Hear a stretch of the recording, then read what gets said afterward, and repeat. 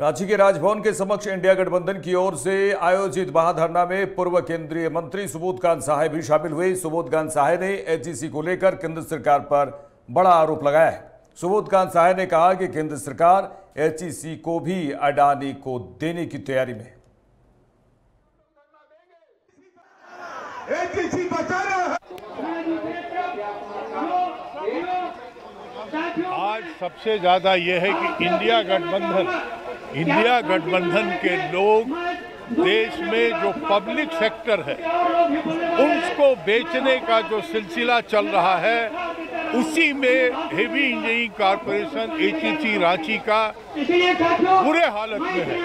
और इसको भी अडानी को बेचना चाहते हैं। 18 महीने से यहाँ मजदूरों का अफसरों का वेतन नहीं है। और ये जो साजिश है इसके खिलाफ मजदूर और इंडिया गठबंधन एकजुट होकर के राज्य की लड़ाई नहीं, देश की लड़ाई लड़ना चाहती है। और उसकी आज शुरुआत है, क्योंकि जितना मेंबर ऑफ़ पार्लियामेंट यहाँ है, वो सब अंधे और बहरे हो गए हैं। कोई राजहित का देश हित की आवाज़ नहीं उठा।